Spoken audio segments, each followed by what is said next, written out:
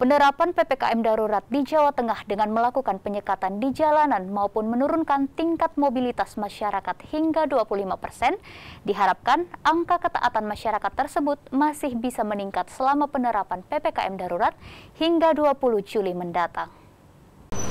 Dari kamera pengawas yang dipasang di sudut kota Semarang di sejumlah titik pada Senin siang 12 Juli 2021 menunjukkan angka volume arus lalu lintas yang menurun. Penurunan mobilitas ini sebagai dampak dari penerapan PPKM darurat yang ditindaklanjuti dengan penutupan 18 titik.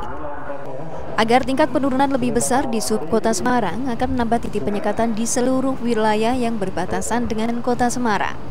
Upaya penyekatan pada PPKM darurat ini dinilai menjadi langkah yang positif dalam menekan penyebaran virus dengan mengurangi kerumunan.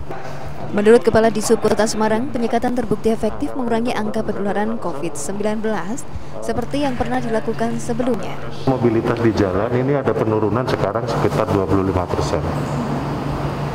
Nah ini kalau bisa kita pertahankan ya dan kita tingkatkan sampai dengan tanggal 20 nanti, ya kita optimis mudah-mudahan tetap ada penurunan angka COVID-19 karena kita belajar dari pengalaman tahun yang lalu 2020 kan.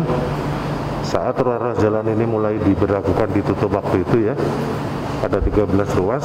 Semarang kan ini waktu itu ya tingkat penurunannya kan sudah hampir zero waktu itu PPKM darurat yang mulai dilakukan sejak 3 hingga 20 Juli diharapkan menjadi langkah yang tepat dalam menekan laju penyebaran virus COVID-19.